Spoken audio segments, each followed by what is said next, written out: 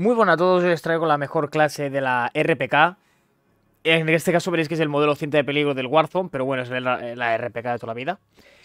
Y me gustaría empezar por la culata que pondremos, que será la culata ProLite TL3.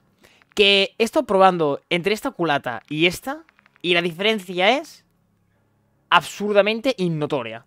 O sea, no vais a notar el retroceso, o sea, lo notaréis el retroceso el, prácticamente el mismo en ambas culatas. Lo único que notaréis es que esta última culata apuntarás mucho más rápido, lo que la hace una maravilla de culata. Así que eh, yo pensaba que esta no tendría que dar tanto... O sea, tendría que dar más control de retroceso y no es el caso, así que al final me he quedado con esta porque nos da más movilidad. Luego, contando que es una clase para Warzone, pondría la, la por 4, que está muy bien, es muy limpia y eh, aparte me gusta cómo le queda con el modelo. Luego usaríamos el cañón más largo de todos, que nos daría alcance de, alcance de daño, velocidad de movimiento, precisión al disparar desde la cadera y velocidad de las balas. Eso sí, iremos más lentos que una mula cargada.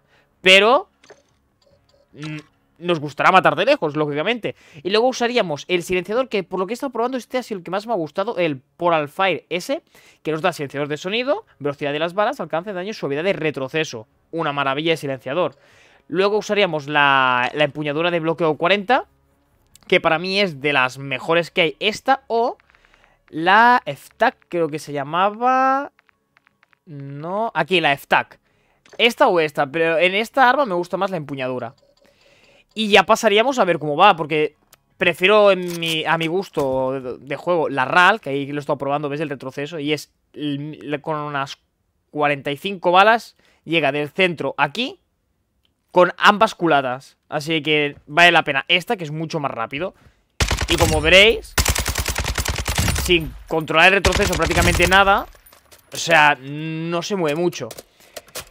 Sobre todo, se puede controlar el retroceso bastante bien, pero como tiene más retroceso que la RAL, en esta sí que me gusta ponerle una por 4, porque es mucho más cómodo ver a dónde estás disparando.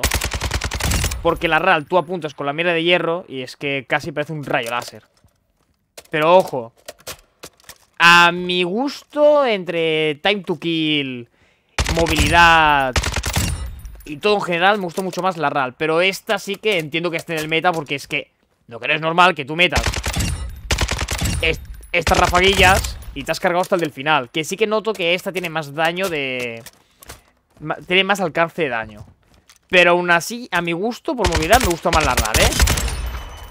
Pero que también deja... No deja mucho que desear porque es buenísima. Que por algo son las dos armas del meta. La RPK y la RAL. Así que espero que os haya gustado la clase. Si os ha gustado, dar like y suscribiros. Un fuerte abrazo y hasta la próxima. Chao, chao.